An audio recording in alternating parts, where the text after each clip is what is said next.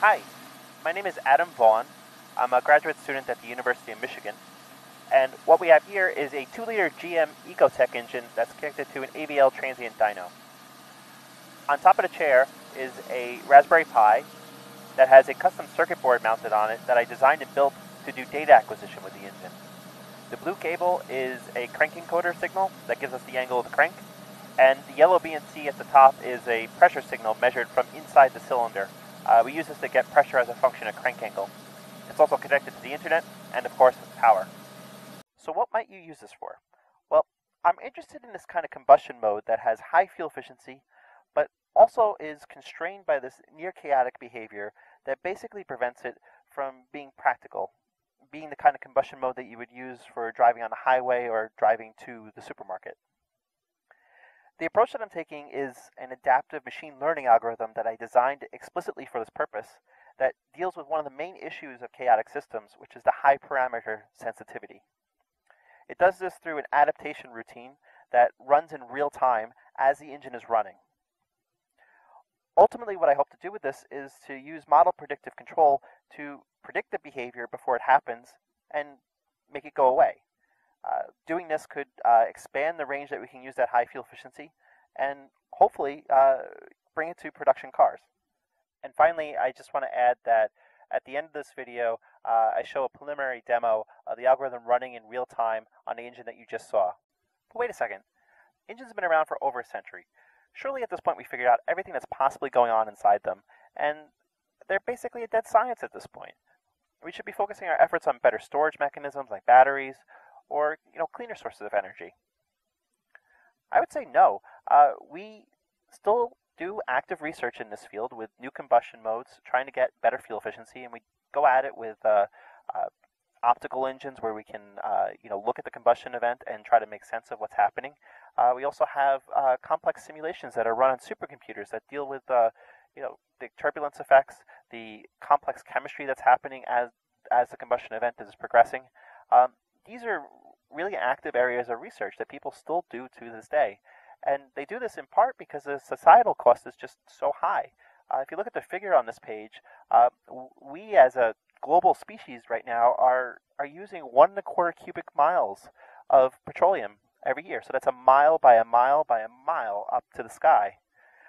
Anything that we can do to improve fuel efficiency can begin to affect this trend, to prevent CO2 from getting into the atmosphere, to save people money, um, and I think it's especially important as uh, developing countries begin to consume more and more oil. Uh, they can't necessarily purchase the latest and greatest greenest tech, and at the same time, they are the source of the growing trend in oil consumption. So how can we begin to get greater fuel efficiency? Well, on this slide, I show a highly simplified view of a typical gasoline engine. I have a scale that goes from zero, which is idle, you're sitting at a stoplight, all the way up to 10, which is you have the pedal all the way down to the floor. Somewhere in between there, say 0 to 6 is your daily driving, uh, but these are just representative numbers. And in fact, the whole scale changes if you have a turbocharger. The thing that I want you to take away from this uh, is that when you get closer to idle, uh, the fuel efficiency is not great. Uh, and I show this by a lighter shade of red. As you move to higher loads, uh, the shade gets darker to represent higher fuel efficiency. But you should note that your daily driving is more towards the lower fuel efficiency end of the scale.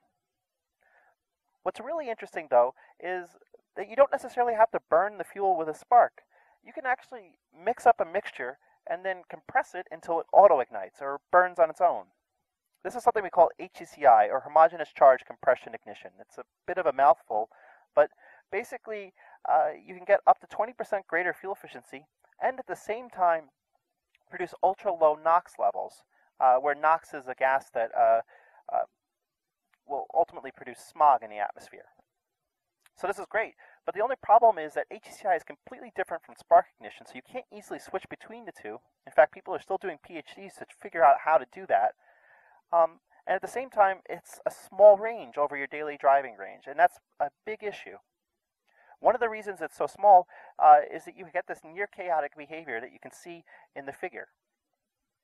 Those large oscillations uh, in combustion timing are really bad we ideally want to keep the combustion relatively constant and a little bit phased or timed uh, after the piston has started to move back down.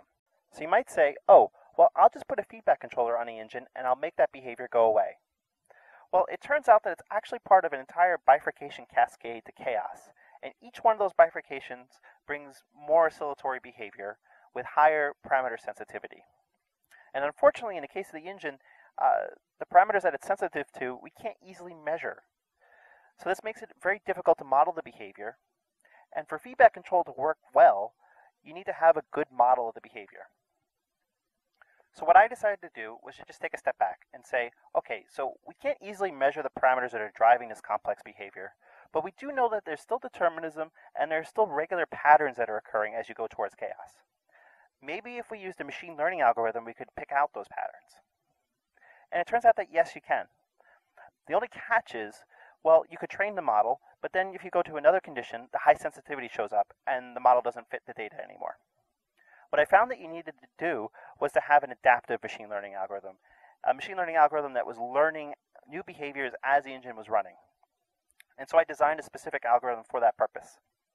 What I found for this particular algorithm was you needed something around an iPhone Generation 1 processor to keep up with the engine in real time. This is actually kind of amazing considering that if you wanted to do a full simulation of the combustion process, uh, it would take about a day to do just one burn cycle. Whereas on a low cost processor, you can actually do the calculation in less than a millisecond.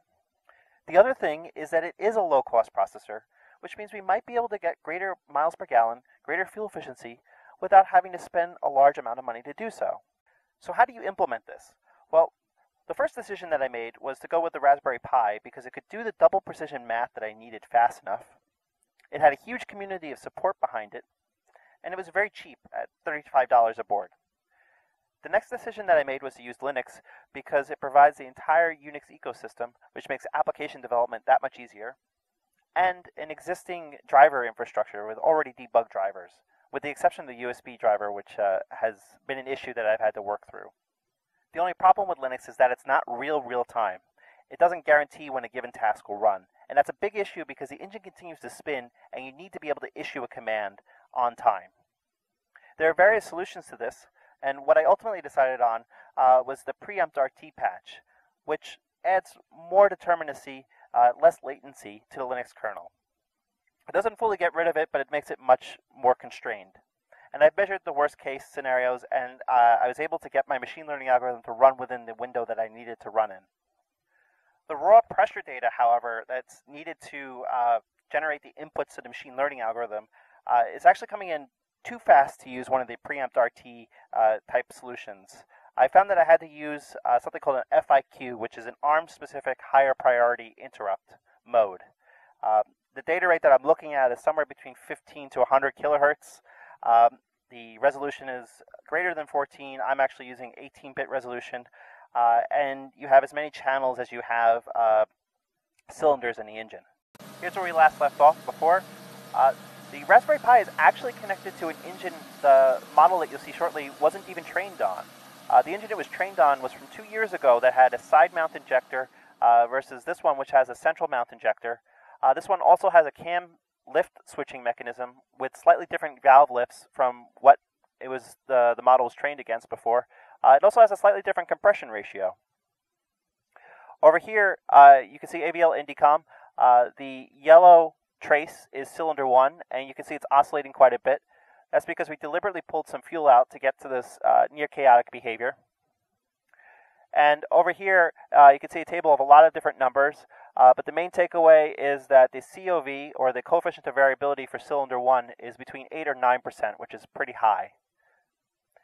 Here's the web-based user interface, which is getting data streamed to it from the Raspberry Pi.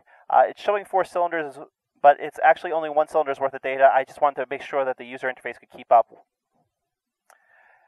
Down here you can see the predictions, which are the colored dots, uh, and the actual measured value, which is the black dots. So the colored dots are actually one cycle ahead into the future, um, predicting that near chaotic behavior, and the actual measurement is the black dot. You can see that it fits okay, uh, and I think it actually feels really great considering that this actually isn't the engine that the model was trained against. So adaptation apparently works pretty well, uh, which is great from an engine calibration standpoint. And finally, I'm just going to briefly go over my next steps. Uh, the biggest thing that I need to do right now uh, is to get the model calibrated for this new engine hardware. Like I said, it has a different head. Uh, the old data sets that it was trained against uh, had were running at a different engine speed. Uh, they also had a different injection pressure. Uh, there's a lot of other little differences between the two setups that I basically need to update the calibration for. And when that's done, I expect to get results that are similar to what I got with the old training data sets, which you can see in the figure on this slide. Incidentally, each of the blue vertical lines is a harsh transient step of four different actuators at the exact same time. Uh, if you'd like to read more about that, uh, there's a link at the bottom of the slide. After the calibration is complete, uh, which shouldn't take too long because it only takes about 20 minutes to run the calibration, uh, it's just that I haven't updated everything for the new engine setup yet. Uh, the next step is to begin doing cycle-to-cycle -cycle predictive control experiments uh, with this new adaptive machine learning framework. The hope is that I'll be able to go to new operating points uh, that are enabled by being able to predict this near chaotic behavior and ultimately deliver higher miles per gallon uh, by expanding the range of HCCI.